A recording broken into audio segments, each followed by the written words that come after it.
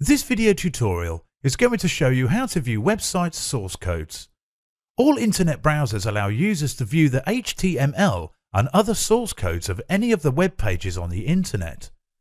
This video tutorial is going to show you how to view the source codes with a listing of some major browsers. To view the source code on Google Chrome, click on the Customization button on the top right. Scroll down to Tools and then choose View Source. Source code file will open in a new tab. If you are using Internet Explorer, go to View, then scroll down and click on Source. To view source code on Mozilla, right-click on the web page and select View Page Source.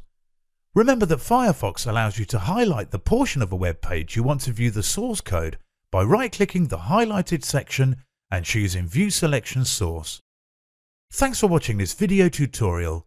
Leave comments and ask your questions by our email feedback at howtech.tv. That was a howtech.tv tutorial.